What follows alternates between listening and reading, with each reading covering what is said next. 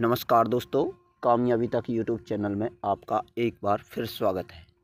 तो आज हम इस वीडियो में बात करने वाले हैं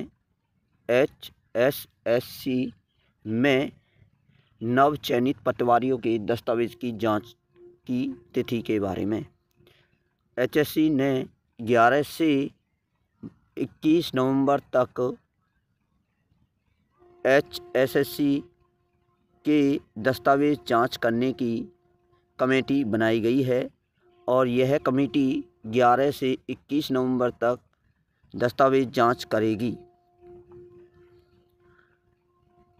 हरियाणा कर्मचारी चयन आयोग द्वारा हाल ही में घोषित किए गए पदों के परिणामों के आधार पर सत्ताईस सौ दो, सत्ताईस सौ दो नव चयनित पटवारियों के दस्तावेजों की जाँच 11 से 21 नवंबर तक करेगा।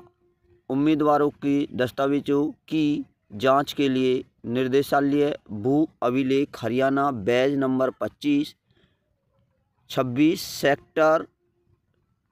sector चार, पंचकुला में आयोजित की जाएगी। बात करें कि किस रोल नंबर की किस दिन दस्तावेज़ जाँच होगी। रोल नंबर एक से लेकर साढ़े तीन सौ तक के उम्मीदवारों की जाँच 11 नवंबर को, जबकि साढ़े तीन सौ से लेकर, यानी तीन सौ इक्यावन से लेकर सात सौ तक की जो दस्तावेज़ जाँच है वो 12 नवंबर को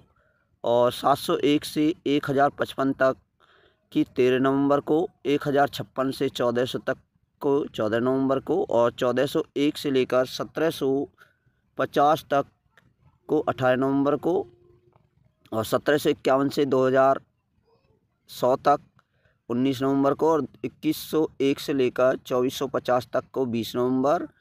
और चौबीस सौ इक्यावन से लेकर सत्ताईस सौ दो तक के अनुक्रमांकों की दस्तावेज़ की जाँच इक्कीस नवंबर को की जाएगी। आप सभी को आपके रोल नंबर के अनुसार उपस्थित होना होगा। उम्मीदवार विस्तृत जानकारी राजस्व विभाग की वेबसाइट पर भी देख सकते हैं और यह जाँच सुबह नौ बजे, सुबह नौ बजे पंचकुला सेक्टर चार में की जाएगी। तो आपको हमारी वीडियो अच्छी लगी तो वीडियो को शेयर करें, चैनल को सब्सक्राइब करें, लाइक करें और दोस्तों, चैनल को प्लीज़ सब्सक्राइब कर लेना है, बेल आइकन को भी जल्द दबा देना है और वीडियो को अपने दोस्तों के पास शेयर कर देना है। तो जय हिंद